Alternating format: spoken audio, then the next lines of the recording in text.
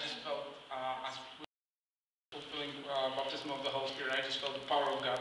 Přestože už jsem dříve byla naplněna, And even I'd been before filled with the Spirit, tak jsem cítila, že Pán něco dělá, že to se stupuje tak dlouho. I just felt that the power of God is coming down and the presence of God. Yes. tak boží mocí. Yeah. Věřím, že i to proroctví, co bylo s těma ušima, And I believe that even kind of the prophecy about the ears, Yes. to bylo od Boha, that it was from God.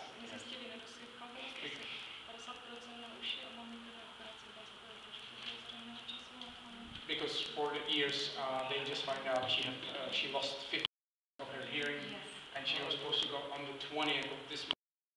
Mám před sebou hospitalizaci Yeah. a ještě pohovořit. They said they, they want to take you, uh, she's supposed to go to the hospital, Yeah. and she believes when they get up that she will, she, they will find out that she's fine. Her, lift her hands. You know what I'm saying? Go ahead, do that.